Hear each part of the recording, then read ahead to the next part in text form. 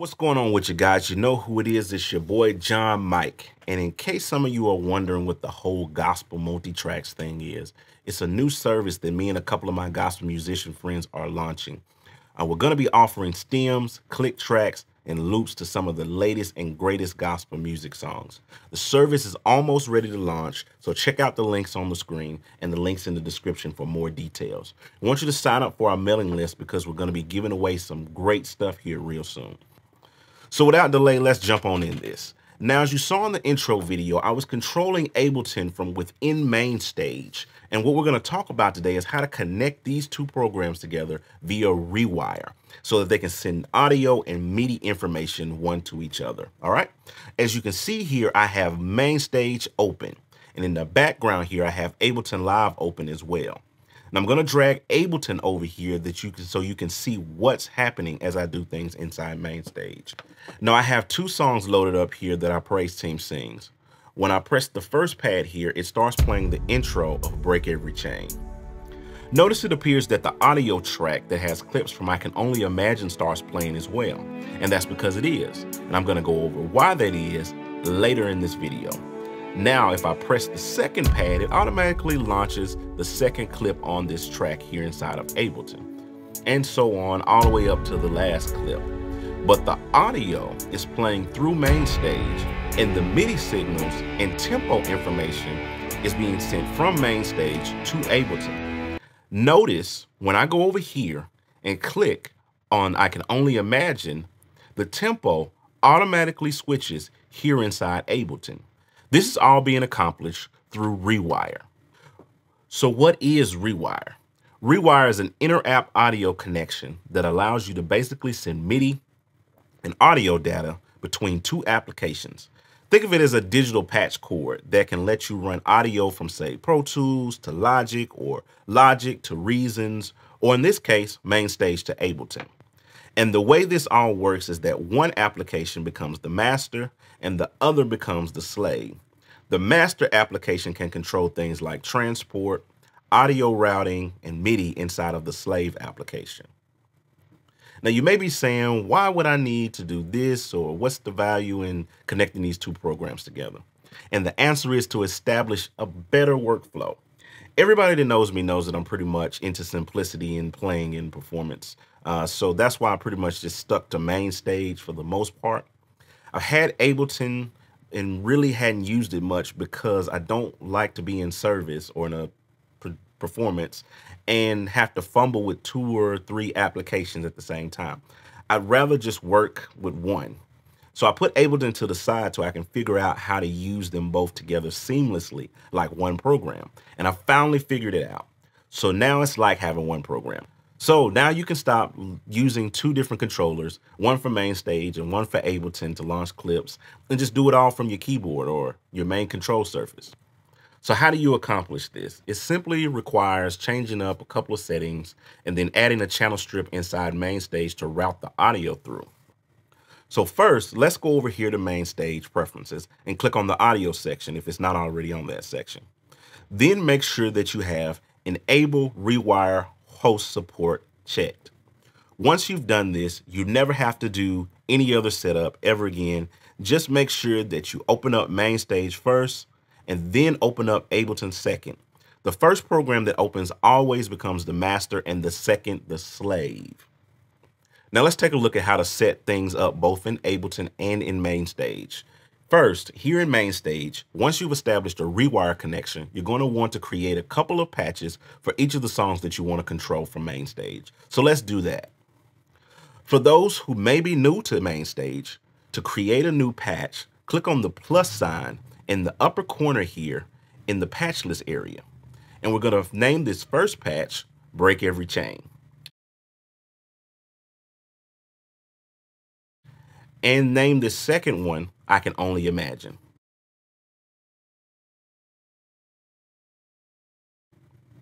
Now, for time's sake, I'm going to load my save channel strips for the sounds that I use for these songs, which is a good idea to do if you want to be able to load up these exact channel strips at a moment's notice. So let's load them in.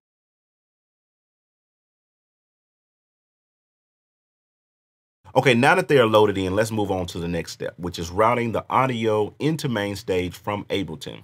What we're going to do first is on each of these patches load an external instrument channel.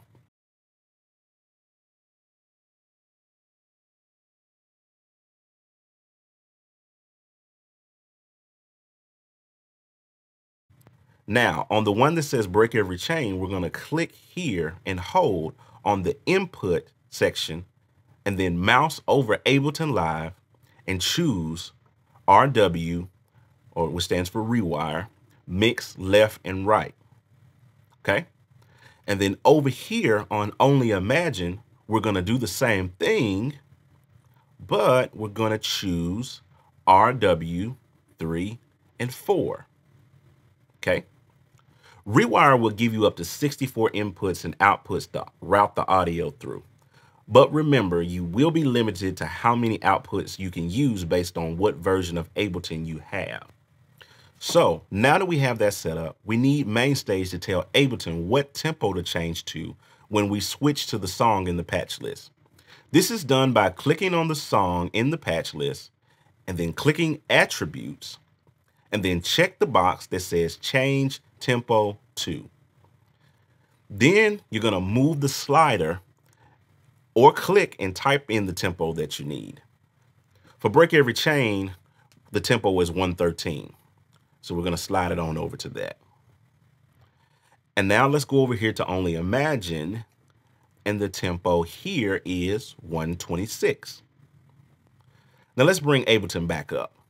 Now, as you can see, when I switch songs in the patch list, the tempo changes inside of Ableton as well. Now that we have set up everything that we need to do in MainStage, let's go over to Ableton and show how this is set up. In Ableton, you're gonna wanna have an audio track for each song that you wanna play through MainStage. In this case, I only need two. So I'll go up here to create and then click on add audio track.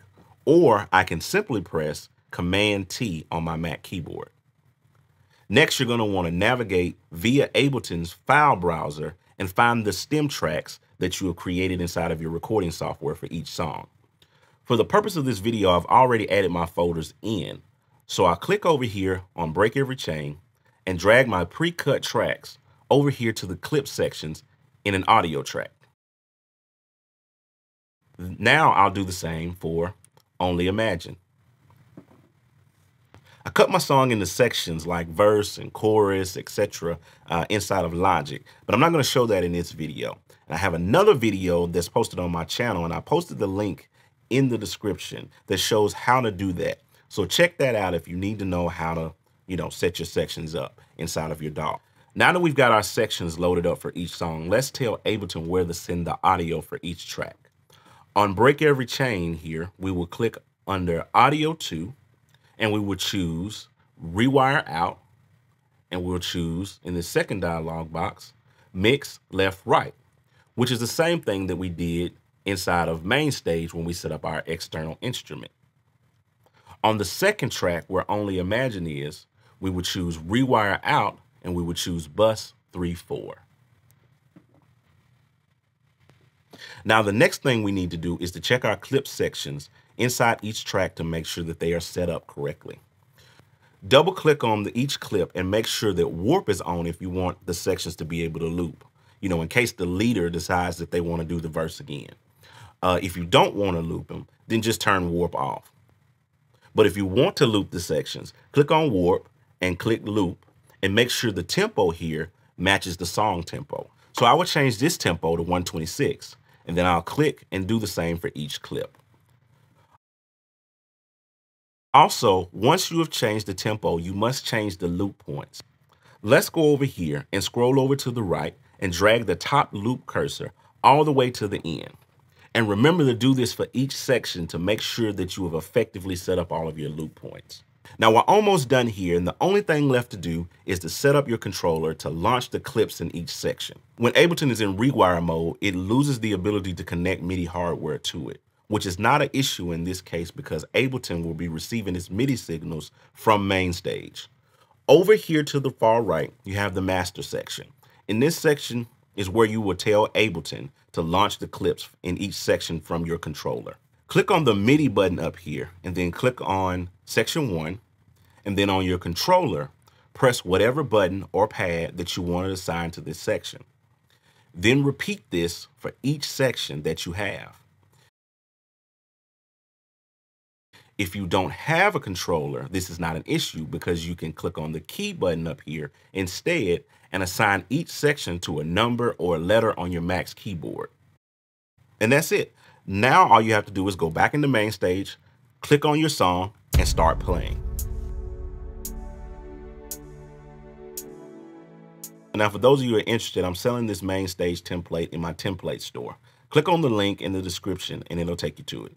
Uh, then you can map your personal controller and set up everything inside Ableton and just go. Well, that's it for today, boys and girls. Don't forget to subscribe to Gospel Multitracks YouTube channel and sign up for our mailing list on our website. We've got a big giveaway coming later this week, and we're going to be giving away the stems that were used inside of this video. So you need to get on that list so you'll be the first person to know about it within the next few days. So comment, share, tweet this video, Facebook this video, and we'll see you later.